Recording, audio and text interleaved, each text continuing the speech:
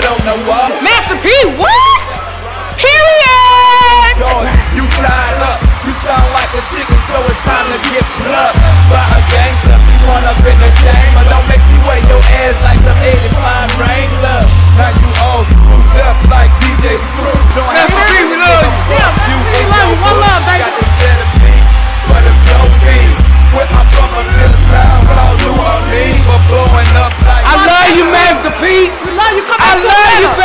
did your thing tonight.